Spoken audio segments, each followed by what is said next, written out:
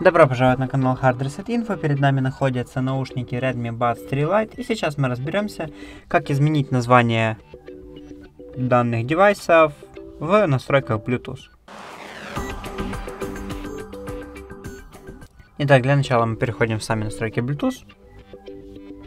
Очевидно, чтобы изменение работало, нужно э, быть подключенными к наушникам. Сейчас мы уже подключены. Мы заходим в настройки Bluetooth, зажимая кнопку Bluetooth. После чего нажимаем на настройки справа от названия. И стираем имя, вводя какое-то новое.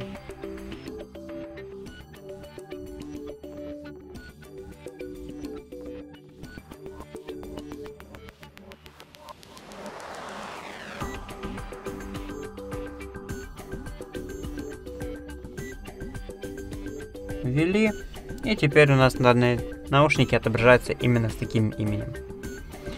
Посмотрим, что произойдет дальше. Мы можем, например, отключиться нашим телефоном от данных наушников. Они перейдут в режим поиска нового девайса. Нажимаем на плюсик, чтобы найти новый девайс. И как видите, теперь эти наушники называются именно так